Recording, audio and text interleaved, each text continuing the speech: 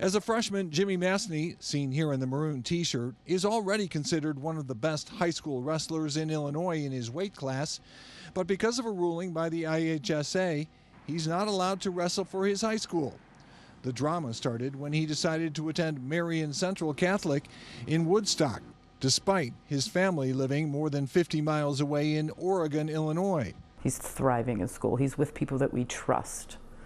He's with people that we know that love him as their own. Mastny has been homeschooled for the last couple of years, and his mother says he decided to attend Marian this year because of the quality of the school's education. It's pretty good. I like the small class sizes and teachers. To make it more convenient, Mastny stays with a longtime family friend during the week.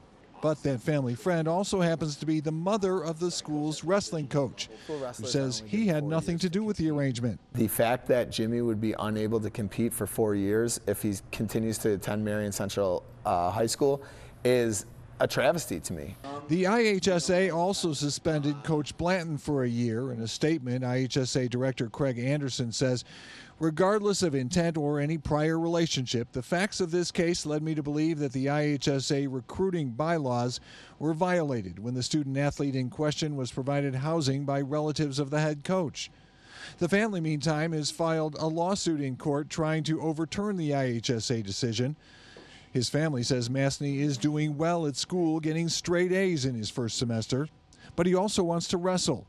An incoming freshman, which has never been done before in the state of Illinois from my research, has been banned from competing in a three month sport. And it's just disappointing. The IHSA was served with the lawsuit today. The school is hoping for a temporary restraining order, which would allow Mastny and his coach to return to the team before the end of this season. Watch breaking news on YouTube. Subscribe to ABC7 Chicago Eyewitness News.